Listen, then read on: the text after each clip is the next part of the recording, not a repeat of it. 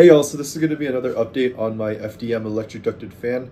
I started this a few months ago with some pretty primitive designs, but since then I've iterated to something that pretty much resembles what you'd find on an off-the-shelf EDF. This is a 70 millimeter setup and all parts are printed with PLA+. To avoid redundancy, I'm going to focus more on the improvements I made from the last video instead of talking about the entire workings of the ducted fan itself. I'll definitely link the previous ones on this video. I got a ton of great feedback from the last video, and while I couldn't incorporate everything that everyone said, I truly believe that every comment kind of pushed me in the right direction in some way. And so to give you the results right off the bat, I ended up hitting 460 grams of thrust, which is around a 50 gram improvement from the last video.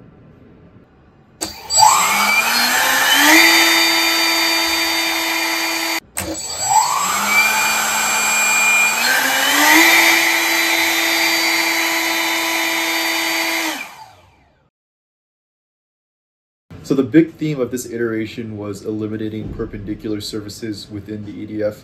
So I'm on a student license right now and I don't have access to CFD tools, but I'm going to use the SOLIDWORKS assembly to kind of show you what I was thinking throughout this process.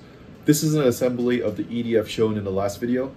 Starting with the inlet, I had chamfered edges that led up right into the fan. Here, the flow makes sharp turns as you can see and loses energy as it goes into the duct. I was also running a very small nose cone that left a sizable amount of the fan hub exposed, so a large part of the flow was hitting this perpendicular surface. I had rectangular motor stators, another perpendicular surface. At the back of the motor mount, there is bound to be some flow separation at the end of the motor mount because I lacked something like a tail. And lastly, with the exhaust tube added, you can see that there are clear gaps where the tube and the duct connect, which is just another example of sharp turns taking away flow energy. And so now to compare this with my last iteration, starting from the front again, I used a massive fillet on the inlet instead of a chamfer to eliminate the sharp edges completely. I made a wider and taller nose cone that covered the fan hub entirely. I filleted the edges of the motor stators, making them round instead of the rectangle. I designed a very simple tail cone that reduces flow separation at the back. And then finally, I tweaked the design of the exhaust tube to smoothly connect to the back of the duct. I didn't get most of the modifications on the first try. I actually went through about half a kilogram of filament and several weeks to produce parts that I liked. I won't bore you by showing all the tests I ran. The components you saw in that final assembly actually was the product of some brute force testing, which I'll dive into a little deeper now. So starting with what I found in the intake, in addition to the sharp edge elimination, the very tip of the intake is rounded to emulate standard fan designs that you might see, for example, on the nacelle of a 737. Before I had edges that basically went to zero, um, but this time I rounded them. I also increased the diameter slightly from 93 mil to 98 mil. Generally with these velocity stacks, I found that bigger is better. And while I started off with the modular inlet duct design, where I could test different inlets, put, pull them on and off the ducts, so I can test them against the same ducts, I ended up going with the unibody one, like the last iteration, to save on filament, um, print time, and losses in imperfect mating.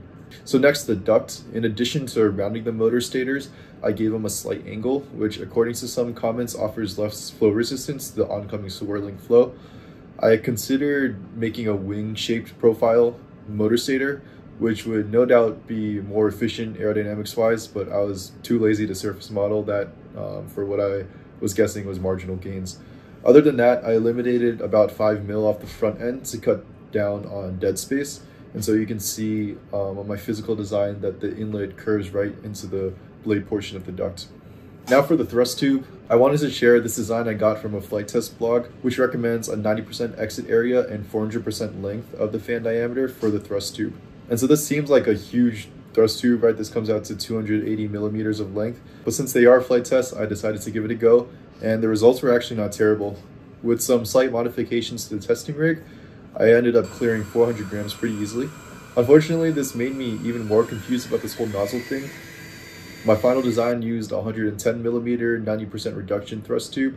These things are simply too big and too time consuming to print for me to brute force test and get super optimal results. I did think this big guy was pretty fun to watch in action. Another thing to note is that it was by far the quietest test I've run. I think the acoustic effects there are pretty clear. Okay, now for the propellers. Uh, I tried, I think I really did, but I couldn't even get a resin propeller on the motor in the end. I used my school's makerspaces to print my propeller in a resin version. I had two completely failed, two that came out but were missing chunks, and one that did fully print, but I ended up breaking it as I was cutting off the supports. So based on this, and also a series of very non-scientific tests I ran on the broken ones, I am still very concerned about the rigidity of resin and wonder if the thinness of the propeller blades were actually the reason why most of my attempts failed printing in the first place. Even my PLA one eventually broke during testing. Don't worry, I do wear safety glasses.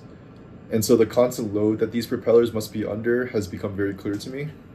I believe the resin ones were printed in 80A resin, which I thought would be stiff enough, but maybe it wasn't. I know there are extremely high strength resins out there, thinking things like ABS like ones in particular, uh, but I didn't have access to those this time around. I will say that while my FDM propeller barely shows any blade profile and probably performs like a rectangular fan, the Formlabs one printed the airfoil shape perfectly. So I have no doubt that a sufficiently strong resin propeller would perform much better. And it should be very clear why EDF manufacturers use things like injection molding or something similar for their fans in the first place. Uh, one more quick mod that was suggested, I ended up adding some homemade rubber washers to the thrust stand and board connections to reduce vibrations in the testing rig. So the thrust lever got a little love this time around as well. So at this point, I'm concluding that FDM can only take me so far, and without the proper tools, there's not much improvement I can do that wouldn't be a significant time and money sink. Two of my lacks clearly stick out above the rest. The first is lack of CFD, I've been basically guessing on all my dimensions on the inlet, the nozzle, the ducts, and while I have bumped my thrust up using these primitive testing techniques, the aerodynamic and coupling effects of EDF parts have gotten way too complicated for me to feasibly continue. I've seen other people on YouTube come up with different ways to visualize flow, things like smoke tunnels or dry ice, so that could be an option in the future. The other big lack is blade manufacturing techniques. Like I was saying, um, I can't really compete with SLA right now, which probably itself can't compete with things like plastic molds or casting, right? And blade design in general is an endlessly complicated subject, and if it's properly applied, it could probably boost my EDF performance a ton. But again, I am currently limited in the geometry of my fan blades just because I only have FDM on hand. And on top of those, there are many concerns that still linger, many of which were brought up in last video's feedback, including motor specs. I'm currently using an outrunner motor, but I see most EDFs use inrunners, and I don't know much about motor KV, but I'm pretty sure my 1450 kV setup is on the lower end. Another one is blade balancing, which is probably a huge problem in my current PLA propeller. Another is print quality and layer lines affecting flow characteristics, but that's just a skill issue. And another topic that I think I'm suffering from is uh, motor stators and their role in straightening the flow as it exits a duct. But that's all I have for this one. Um, thank you guys for watching. I'm hoping that in some way or another, this video helped you understand aerodynamics and fan designs a bit better, even though I realize that most people watching this probably know a lot more than me.